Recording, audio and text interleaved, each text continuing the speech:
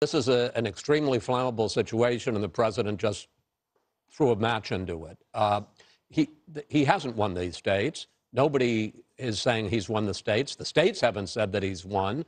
Uh, you know, this goes right back to what Joe Biden said, which is the president doesn't get to say that he's won states. Uh, the, you know, the American people get to say it, and the state officials get to declare it.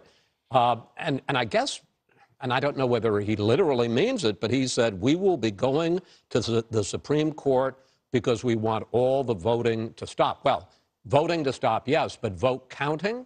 Yeah. Um, you know, the, the, or these states by state law all have the opportunity, and states routinely are unable to count votes by election night or early into the morning of the day after the election and it goes on for days. Now, there may be a question as to how long you can uh, continue to accept ballots, but there's no question that all these states can continue to count votes for days. They don't have to certify for weeks how, who has won the state. That was what happened in Florida back in 2000. So I don't know if he literally meant that he's going to try to stop the counting of the vote, but I, I, I would think that that would be extremely inflammatory, and, and uh, frankly, I don't think it's something that the courts would allow.